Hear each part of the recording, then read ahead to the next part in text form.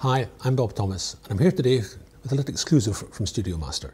Studio Master, a storied British company, well known in the PA market for really high quality gear, really well built, lasts forever, it's practical, it does what musicians want and not what engineers want.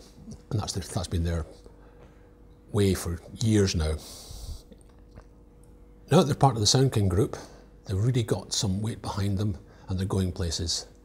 If you've been watching the way that their product range has expanded and their dealerships have grown over the last few months, it's been really, or years in fact, it's been really encouraging to see a British company doing really well. So what I got here, Club XS16 Plus. 16 inputs, so 12 mic line, two stereo inputs, onboard DSP effects, and a built-in MP3 Bluetooth player recorder. So, without any further ado, let's take a look at it in detail. The 12 mic line channels are identical. You've got an XLR for the mic, and that's got 48 volt phantom power that's switched globally on all 12 by a switch at the far end. A jack for the line input. You can use either or. You can't plug two things into the channel at once, either plug in the mic or the line. Gain control with enough swing to go from line level up to a, a fairly low powered mic like a dynamic. So plenty of gain in there for practical use. What the Club XS has that's kind of unique is a one knob compressor on every, on every mic line channel. So you just dial in the amount of compression that you want. You don't have to fiddle with anything else, no ratios, no attacks, it's all preset for you. Just a good sounding general compressor. An 80 Hz high pass filter to get rid of all your handling noise, mains hum, that kind of thing. Three band EQ with well chosen frequencies actually. 12K on the treble, 2.5 on the mid, and 45 hertz on the bass. So you've got plenty of, of treble up there to boost because it's it's quite a wide shelf on the bass and the treble, so you can boost quite high up. Really gives a bit of bite. Plenty in the mid-range, bell response, so you're boosting the frequencies that are the critical for clarity and sibilance and that kind of things, or, or cutting them if somebody's too sibilant. And then the bass, the same thing, plenty of bottom end to push up.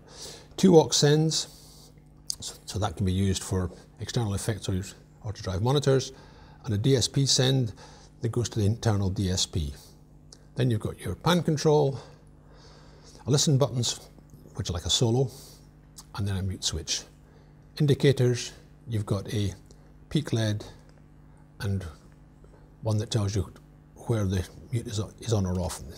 The mute switched in, the red light shines, and if you've got the channel running too hot, the top one shines. Then short fader, and on the fader it feels really good. It's a really smooth, solid feeling fader. In fact, all these controls feel really good when you're handling them. So it's a sign of quality, which goes along with the steel chassis.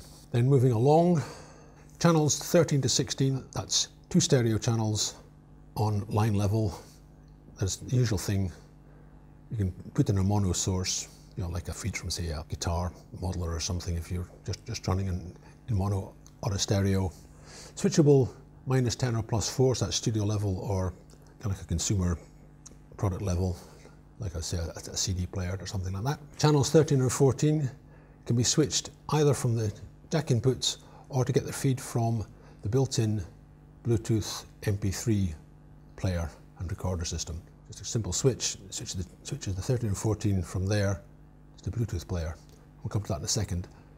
Then the channels have a simple two-band EQ. They don't need a three-band EQ because if it's coming in line, it's probably already EQ'd. So simple treble and bass EQ and the same two auxes, DSP sends, pans, and faders, and listen and mute switching.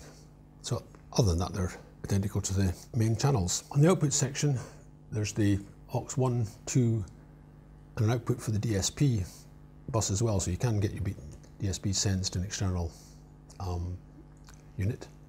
There's also a foot switch that cuts off the internal DSP because obviously you don't want reverb running if you're talking or a phaser on the voice while you're trying to make an emergency announcement.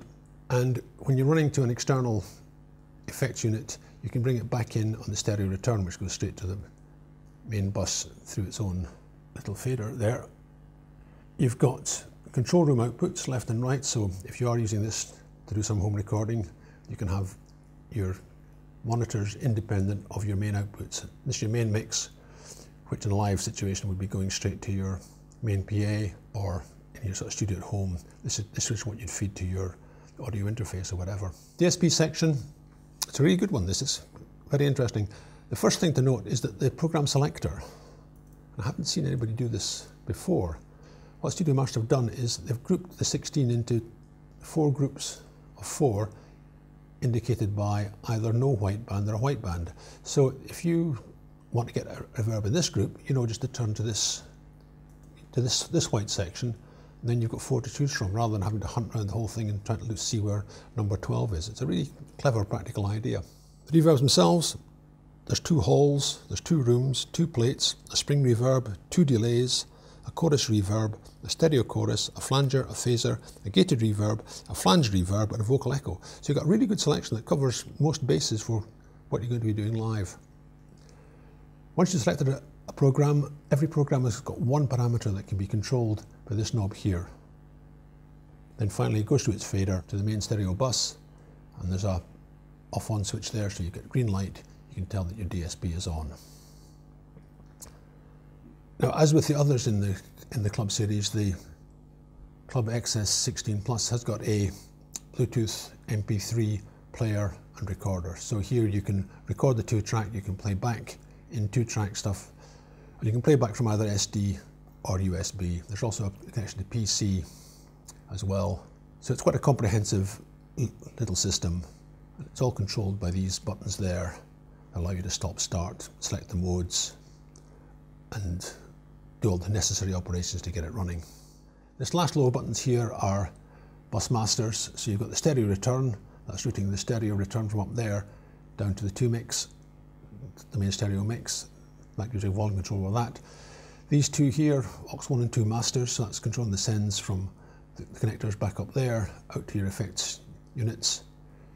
You've got the playback volume, which is the volume from this Bluetooth player, again straight to the 2 mix. And then finally, you've got the control room stroke headphone monitor level. And of course, what's on your headphones or your control room monitors is set from these two switches here, either the playback mix or the main mix. Headphone socket, obviously. And then finally, last but not least, the main mix master fader and the LED ladder that shows you the levels going out of the mixer.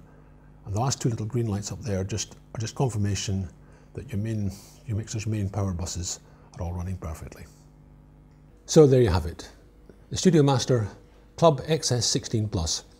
Mixer built for the road, solid, good quality components, sounds great, and you can even use it for home recording. It's built-in Bluetooth player, recorder, lets you record to your PCs and that kind of thing, and also to play back from Bluetooth and MP3 players. Great mixer, really practical. Take a look at it.